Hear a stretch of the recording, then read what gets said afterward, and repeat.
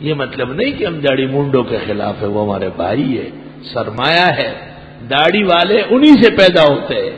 ان کے اس فعل پر ان کو آگاہ کرنا ہے کہ یہ قباحت کا فعل ہے۔ فسق ہے۔ اس سے توبہ کرنا چاہیے۔ اور پیغمبر کی خدمت میں جو ایران سے وفد آیا، بالکل اخیری ایام میں آپ بیمار بھی تھے۔ ان کی بڑی بڑی مونچھیں تھی اور داڑیاں کٹھی ہوئی تھی آپ نے پوچھا کہ یہ کیا کیا تم نے؟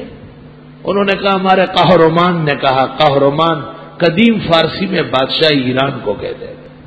تو حضرت نے کہا، تمہارے قہرمان پر خدا کی لانا تو میرے رب نے کہا ہے داڑیاں بڑی کرو اور مونچھیں چھوٹی کرو۔ اب میرے علی کو کہا، ان کو باہر نکالو۔ میرے، مجھے نہ دیکھے، نہ میں ان کو دیکھوں۔ حضرت شیخ مولانا زکریہ محدث سارام پوری داڑھی منڈو سے کہتے تھے کہ اگر داڑھی رکھنے کا ارادہ نہیں ہے تو روز رسول پر سلام پڑھنے کی ضرورت نہیں ہے۔ کہیں اور سے پڑھو۔ اور فرماتے تھے، حضرت قبر میں ان سے منہ موڑ لیتا ہے۔